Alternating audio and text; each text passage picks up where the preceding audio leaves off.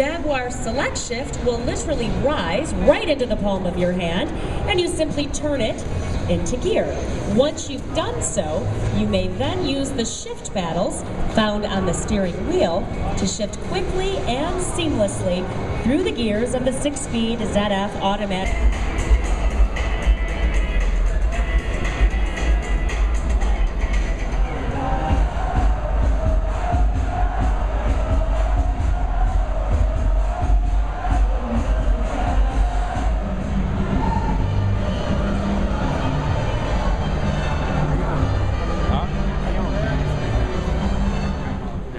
Car built by Chip Foose, the man.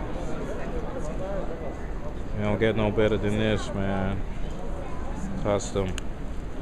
Get you a car that nobody else got. Lotus.